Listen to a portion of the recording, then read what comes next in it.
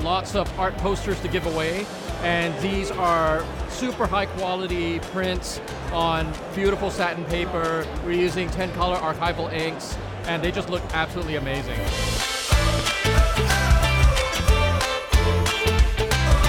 Oh, the prints are fabulous.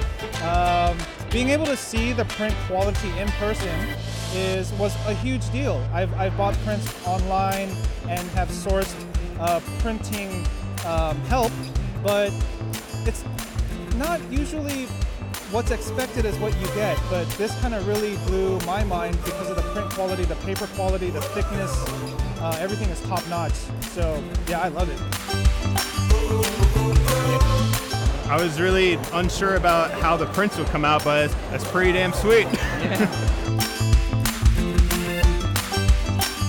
this is like solid stuff.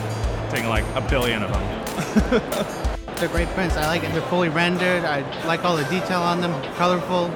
I'm excited to put this up on my wall. But this one I think is probably the coolest right here. I think that one's so dope. And I think it, like the quality is really nice. Like the colors pop really well. Like, I can't wait to frame this.